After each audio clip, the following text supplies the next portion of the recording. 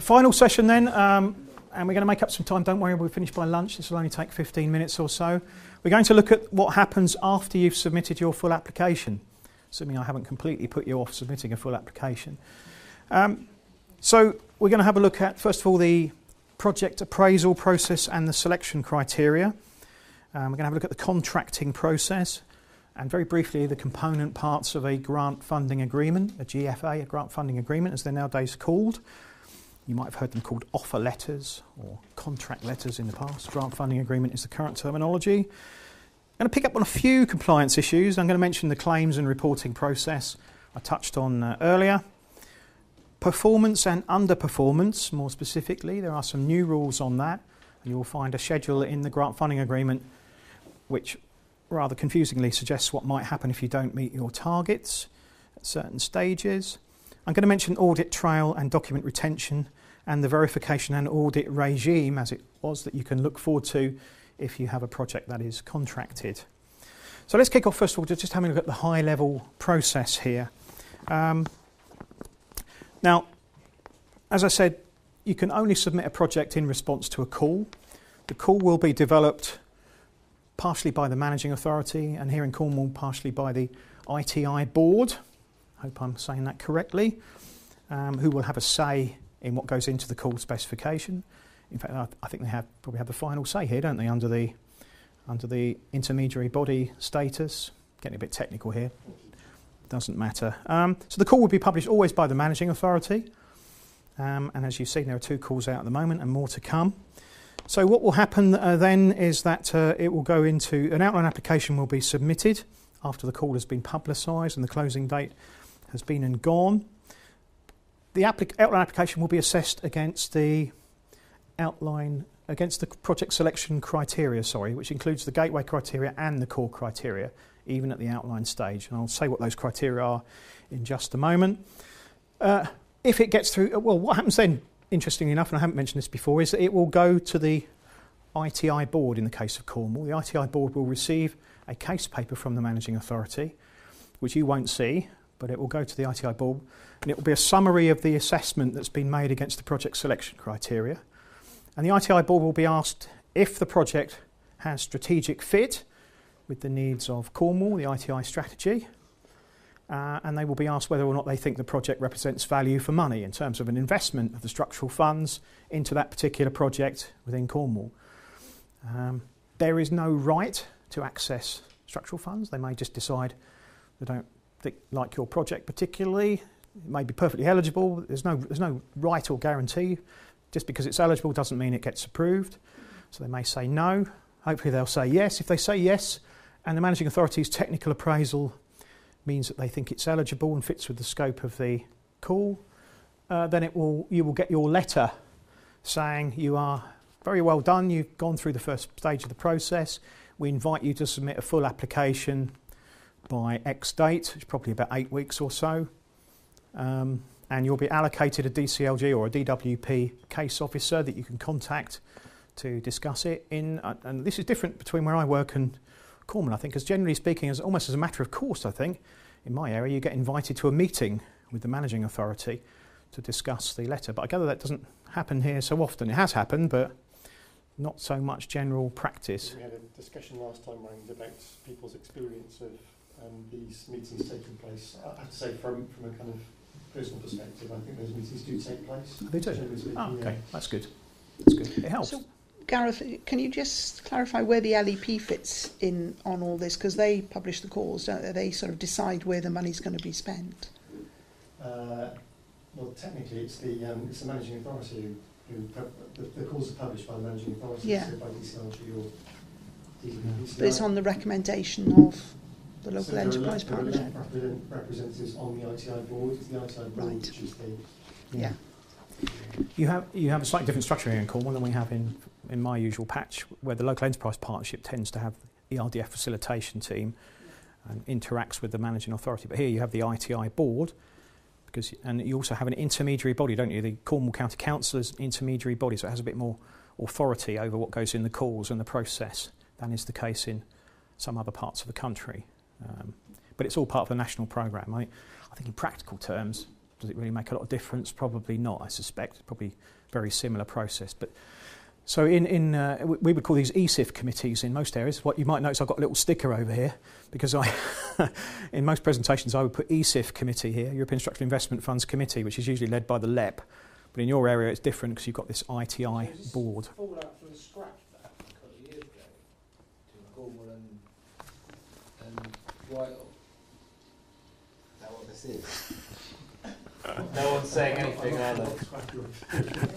Well, where, wasn't Cornwall trying to be in There were, charge? there were discussions previously about intermediate, intermediary body status, which go back a couple of years ago. Yeah. Um, as Andy mentioned, IB status is now something that's part of the devolution deal Right, for Cornwall that's now, I mean, that's not what was just going to happen now. So, okay. so Cornwall would have more kind of local control in terms of Yeah. what goes into the Yeah. calls. And final judgment is not projects get funded. Yeah. Yeah, Okay. that's a diplomatic way of putting it. So you will uh, develop your full application, and it will then hand, un, be, uh, uh, will then undergo, I should say, a full technical appraisal. Uh, you know, focusing very much on compliance issues, as a matter of fact, procurement, state aid, eligibility, scope of the project proposal, or whatever. Full technical appraisal. It will then go back to the ITI board, who will be asked the same question they were asked in the first place, because projects do change from the outline to the full application stage. You can, in developing your project, you might decide to make a few changes. There's nothing wrong with that. It's perfectly allowable. Uh, you can't just come up with a completely different idea to the one you submitted, because that would be out of scope of the call and would be rather circumventing the process. But obviously, changes in your project proposal from outline to full application stage are perfectly normal. There is a section on the form which allows you to highlight where you've made changes since the outline application. I would expect that to normally be the case because the more you look in detail at it, the more you might change the resource, the targets, whatever.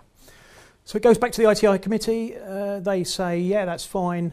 And then the managing authority, if they're happy, will produce a grant funding agreement, GFA. So that's the high level business process, if you like. But what's important, you'll notice there's local consultation going on here at this level here. Not just the managing authority, they are consulting locally. And that, in my experience, that's a bit of the programme that actually works quite well. The engagement of partners within the delivery of the programme in local areas, I think, has been one of the successes of the structure that they came up with. Uh, I mean, in the area that I sit in, you know, it's, it's engaged quite a lot of interest in structural funds that wasn't there before. Um, so it's been quite successful. Can't speak for Cornwall, it's not my usual area, of course. So um, let's have a look at the project selection criteria. It, has, it is published, you can see it, you can download it from the .gov website. Um, it's required to be published by the regulations, of course, open and transparent process. It's not procurement, but it's published anyway. Uh, there's gateway criteria and core criteria. Uh, you will see, um, well, actually, you probably won't see, but in the case papers that go to the ITI committee, um, it will be scored usually on the basis of uh, yes, it meets the requirements, no, it doesn't meet the requirements, or it partially meets the requirements. Partial score is quite common, nothing to worry about. It usually means they've got some questions to ask you or some conditions to apply. It looks like it's state aid compliant, but we haven't seen the legal advice. So the applicant is required to produce their legal advice with the full application. It's not a problem. It's, it's the usual. They'll give a partial marking. It still goes through on a partial marking because they haven't got the full evidence they need to assess the project. So let's have a look at the gateway criteria then. Um, this is the minimum eligibility requirements which must be met to ensure that an ERDF or ESF project can receive support. You'll see that there are only three questions here. The first effectively relates to the project applicant. Are they eligible to apply for funding? So are they a legal entity? Going back to a previous slide. Are they, are they capable of applying for funding? Are they a lead partner perhaps in a partnership project? Do they have the capacity to enter into a grant funding agreement, a contract with the managing authority to deliver this project? The second question is Is the activity eligible for support under the national rules for ESF or ERDF, national eligibility rules? Fairly obviously, they need to know that. Uh, if it fits with the scope of the call, it probably is, because uh, obviously otherwise they wouldn't have defined that activity within the, the call. And finally, does it actually respond to the call, which is almost the same as the third question, isn't it? The second question, sorry.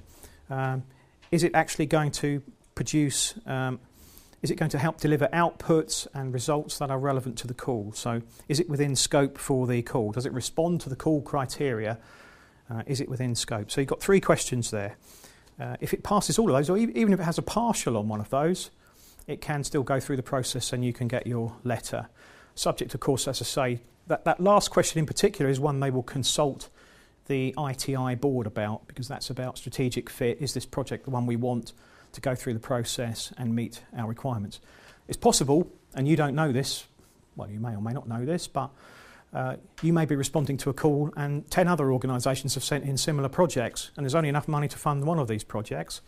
So they might actually have to select one project over another, which is when questions like is the applicant best placed to deliver this come into play. Is the partnership the one we want to deliver this? Are they best placed? Because we can't fund all these projects, we're only going to fund one of them.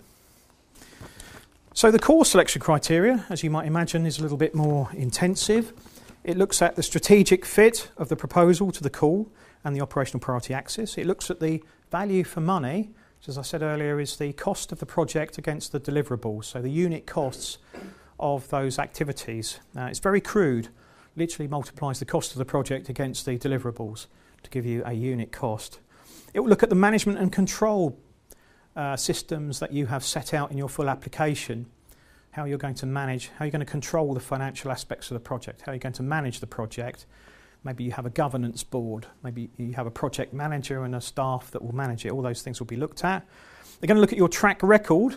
If you've managed projects before and made an awful hash of them, had to pay the money back, you're going to be starting from a low base as far as they're concerned. Do they really want to risk giving you more structural funds money? If you've got a brilliant track record in managing funds, then that's really, really helpful. If you've no track record or two at all, but you've managed other public funding, that will be really helpful as well. Or if you've managed other types of EU funding, that will be helpful. So there'll be a risk assessment. It will look at your financial capacity as well because of the cash flow issue. Only if you're only if you're private sector. If you're public sector, there's no financial capacity assessment. It's just assumed that there's no problem. It will look at compliance with procurement, state aid, publicity, eligibility rules, of course and it will look at the cross-cutting themes. So if it's approved, then it will uh, go on to the contracting phase. I'm just going to mention strategic fit here because it's important in terms of the assessment of the project. So it contributes to the needs opportunities identified in the call, so it meets the scope of the call. Um, it represents an appropriate means of delivering the specified objectives and meets the priorities of the operational programme. It aligns to the growth needs set out in the operational programme. I think we've covered that. Um, it must add value and not duplicate existing provision. I know I'm repeating what I said in the first presentation, but you will need to show what existing provision there is in your area that's similar and how, if, if there is similar provision, then you can say how your proposal differentiates from that and fills a gap that needs to be filled. If it simply duplicates other provision that's already there, be it other EU funded provision or national programs, then obviously it's going to run into difficulties with the question of additionality. So you're going to reach the happy stage of receiving a grant funding agreement.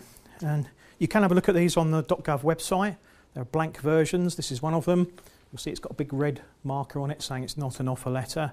It's simply an example of a grant funding agreement. They're quite lengthy, 36 to 52 pages, plus appendices. Your full application is in theory appended to the application. So what you've said you're going to do in your project will simply get appended to the full application and become part of the contract. It goes back to what I said about the scope of the project earlier on. You can't then go off and do something slightly different because it will be out of scope of your grant funding agreement because that is part of your contract. If you want to change it, go and ask, ask them, send in a project change request. It may be possible to make some changes to the project.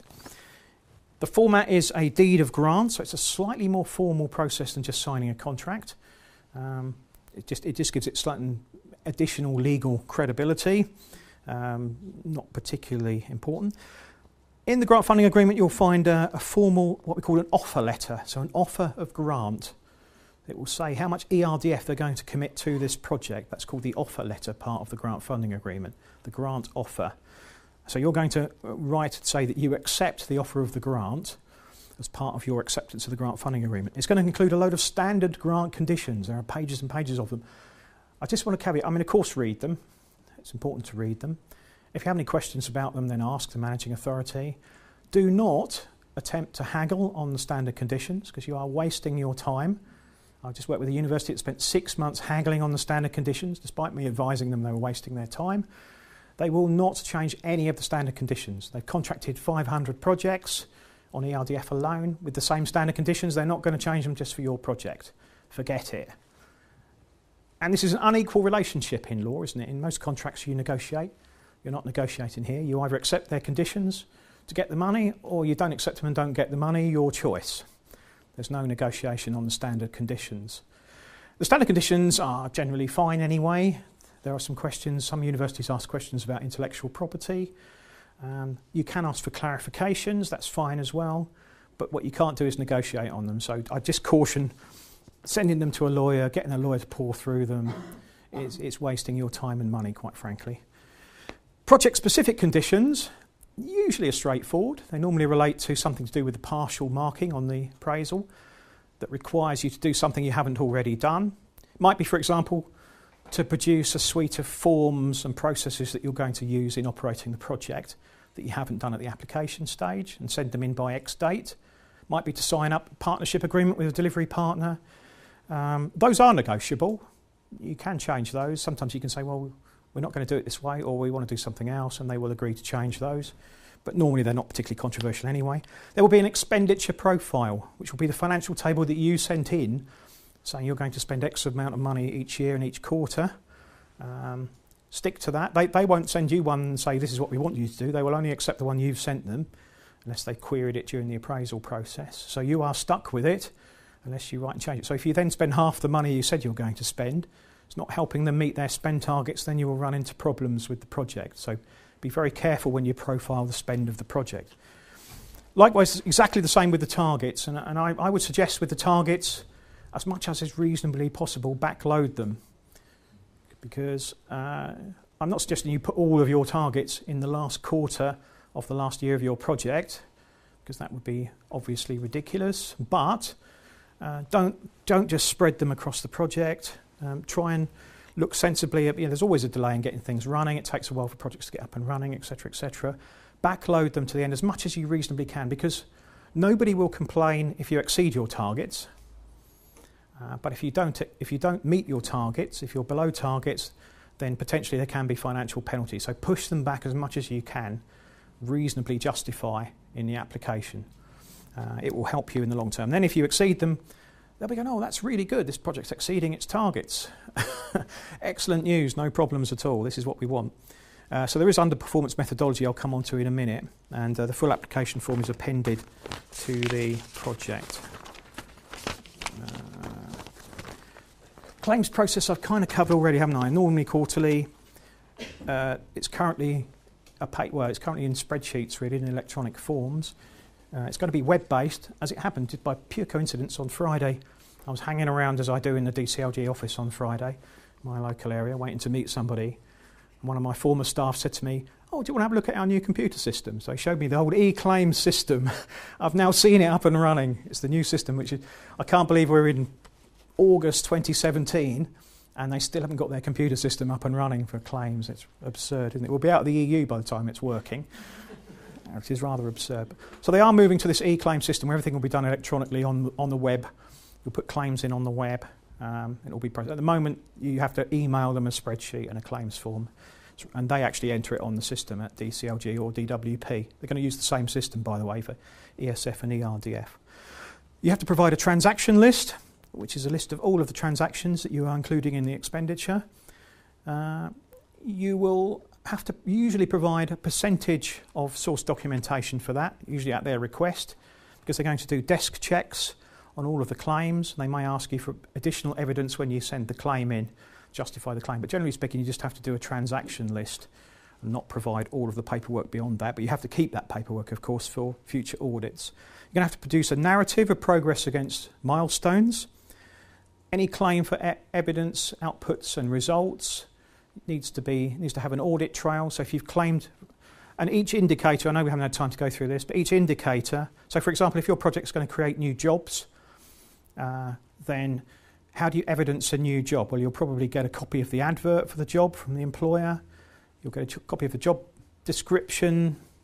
Um, you may you get a signed statement from the employer to say we've recruited somebody into this job and we estimate the job's going to last for a year or more, which is the criteria for counting a job. Uh, you may even uh, get some the person who's in the job to sign a statement to say they're now in the job and doing this job. So the, the indicator definition will tell you what the evidence needs to be to justify claiming that output. So you have to send that in with your claim if you're going to claim that output, the evidence trail for the output. That's to give, just to give you an example. Uh, all claims subject to administrative checks, as I just said, which means desk checks. They're going to check the claim at the managing authority. How are we doing for time? Oh, five minutes. Come on, hurry up. Um, irregularity. I'm just going to mention, I've mentioned the word irregularity a few times. And irregularity, as it says on the screen here, doesn't mean fraud. It just means that an unjustified item of expenditure has been charged to the budget of the project. A systemic irregularity is where this is happening uh, regularly. For example, if you've, mis- if you've got a system that miscalculates the salary costs within your project because the system you're using is wrong, there's a systemic irregularity. So they can extrapolate that irregularity through the project and say, well, we found this error and this error is the same. And actually, we've discovered that it's your system that's causing this error, so therefore we extrapolate the cost of that error through the project. So that can happen sometime. Anyone can make a mistake, so that is okay. Uh, if they identify the mistake before the claim has been paid, um, there is a process to go through, self-declared, self what they call it, self-declaration process where you can uh, amend the irregularity and it doesn't affect the project. If they've paid the claim, you've had the money, and then they find the irregularity, it can be taken off the, the ERDF or ESF you've been allocated for the project. That's what one of the senior managers at DCLG used to call the unforgiving nature of structural funds. Unforgiving. You've, there's a mistake, but we're going to take the money off you. Even if you tell them you've made the mistake, they still take the money off you. So, in other words, they reduce the amount of ERDF you've had in your offer letter by the amount of the irregularity. And you can't, you can't just say, well, oh, sorry about that, I made a mistake. We'll just make sure it's spent on the right item next time. They take it off the project. So you have a reduction in the grant available to the project if it's a formal irregularity. Same if it's spotted by an auditor at a later date. So cannot be used, as you'll see here, can be used in the program, but cannot be used in the same project, is my point. It's taken off the project. Now, this is, um, I know you can't see this very well. This is a new approach. I've yet to see it actually used, but I'm sure it will be. This is, uh, you'll find in this in, a, I think it's in Schedule 4 of the grant funding agreement. You'll find an underperformance matrix and definition. Effectively, what it means is that if you are 15% short of your target that might be okay. You can discuss that through a project change with your case officer. However, if you're between 16 and 25%, you could have a 5% weighted financial correction depending on the importance of the indicator. And it goes on 26 to 50% can be 10%, over 50% could result in a 15% financial correction. And there's a rather complex methodology here and selection of indicators to, to work that out, uh, which I'm not going to go through. Document retention, um, there's some guidance on that. Um, it's people used to say to me, "Well, how long have we got to keep the documents for?" And that'd be a nice, easy question. Under the old program, I'd say December 2025, which is a long time. Can't say that anymore because the new rules are more complicated. And this is because you don't know when you've got to keep the documents to, because the documents are dependent on when the managing authority has submitted its accounts to the commission for that year and had its accounts approved. Of course, you know nothing about that. It's nothing to do with you whatsoever. You've no idea if the managing authority have included your project expenditure in their accounts. You've no idea if the Commission have approved their accounts or not for the given year. So the managing authority should write out to you and tell you, we've now had that expenditure approved. You can, you can you have to keep these documents for a further two years. Uh, however, I'll just caveat that by saying that if you've got state aid in the project of any sort, particularly de minimis, you have to keep the records for 10 years. That's nothing to do with the ERDF rules, that's the state aid rules. So you might as well keep the records for 10 years just to be safe. That would be my advice. Think about keeping the records for 10 years after the end of the project, uh, particularly for state aid, you have to do that anyway. Um, so why not just apply it anyway? You might as well just, you don't want two systems, do you? It's going to cause problems. Just finally, then, uh, management verification, uh, sorry, the, uh, the audit and verification regime. Um, they will almost always call these audits nowadays, by the way, whether the but they're actually verifica- verification is carried out by the managing authority. in other words, the staff from DCLG or DWP. And they may come out, well, they will come out to visit your project a number of times. First of all, they'll do what's called a project inception visit, a PIV. So the first visit they will do to your project, they'll come out and they'll run through the grant funding agreement, check your systems, ask if you understand the document retention rules and the publicity rules and all this kind of stuff. They'll go through that. Um, and that's meant to help, be helpful. It's an uh, upfront compliance meeting. Welcome them with open arms, take their advice. They'll do a report, suggest you might make one or two changes if it's necessary. Really helpful stuff. Before anyone has submitted any claims or done anything else, they will do some checks, which is good. Uh, they may come out and do an on the spot verification. In fact, they almost certainly will during the course of the project. OTSV. OTSV means they will come out to your offices, sit in your office, and go through the source documentation for the project. So it's like an audit. They'll, they'll call it an audit. In technical terms, it's a management verification under the regulations carried out by the managing authority. Now, there are also audits. Audits are carried out by the Government Independent Audit Authority, the GIAA, as they're called, which is part of the Treasury. It's separate from the managing authorities, they have no control over it. There's a big difference between the audit and the verification, not in what they actually do. But the management verification is what we call ex ante, in other words, before the expenditure has been defrayed. They're checking your claim, they're checking a claim that hasn't yet been claimed from the Commission. An audit is always ex post, after the claim has already been paid, and in theory already included in a claim to the Commission, but you won't know that. Then it comes to the attention of the audit authority, they can select it for an independent audit. And of course, if they find an irregularity, it's probably going to be taken off of your grant offer letter value. It's possible, and I, I foolishly said this at one of the previous seminars, it's possible, but incredibly unlikely, you will have the Commission auditors come out to visit you, or even worse, the European Court of Auditors coming out to visit you. They are entitled to do so. I said that, and a guy at the back collared me actually at the lunch when he said, We've had all of those come to see our project. And I said, oh, oh, sorry about that. It's incredibly unusual. I said, Was it a big, because normally if it's, you know, if it's a £100 million project, yes, they might come out and see it because it's on their radar. He said, No, it was only a, it wasn't a very big project. Well, that is extremely unusual. I have no idea why they selected that project for such a kicking. but uh, very, uh, I mean, generally speaking, the, the point is the commission is supposed to rely on the verification and the audit. They don't have to come out and visit because they're reliant on these systems to check compliance of expenditure. So why do they need to come out as well? If the Commission or the Court of Auditors come out, they are, they are also checking that the auditors are doing their job and the verification people are doing their job, as well as looking at the, the projects. And I just, oh, I could, have I got time just to tell my joke very quickly? Um, audits on ESF, I mean, they can be very frustrating because we do have this audit culture in structural funds. Um, that is that um, rather than looking at the project thinking this is really good, it's helped 200 people into work that were previously unemployed, and there's an example of this in ESF. We had an ESF auditor who was known as, thankfully he's retired now, so I can say this, he was known as Mr. Bus Ticket. and he went out to a project, and uh, the project applicant said, This is a really good project. Look what we've done. We've helped 300 people into work that were previously long term unemployed. Fantastic results. They've got qualifications as well. And he went, Yeah, that's all very well. Where are the bus tickets? and uh, there were some missing bus tickets because they were paying expenses for people to come to the travel to the training sessions, missing bus tickets.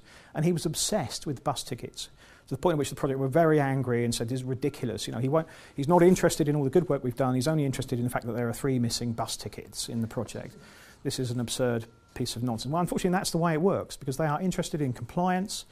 They're not, they don't take the wider view of whether the project is delivering something useful or not. It's really frustrating, but they are about the audit trail, they are about compliant expenditure, uh, they are about compliance with national and public rules in relation to procurement, state aid, etc., etc. So I'm afraid that is the culture of uh, structural funds that you have to deal with.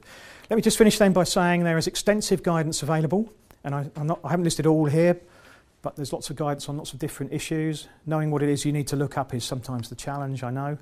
The guidance, in many cases, I've said this before, is very, very good. In some cases, it leaves you with questions that aren't answered, which is frustrating and annoying, but I do strongly recommend that you look at it. If you ring the managing authority, they'll almost certainly tell you to look in the guidance first. Um, if you really have a difficult question, I can probably go through these guys, um, or uh, you know, it can be raised. I've raised questions with them. Uh, what I normally do is say, in my view, we should do this because this is, seems to fit with the rules, and they, they'll usually say, yeah, we agree with you. Or sometimes, in, in one case, they even referred my query.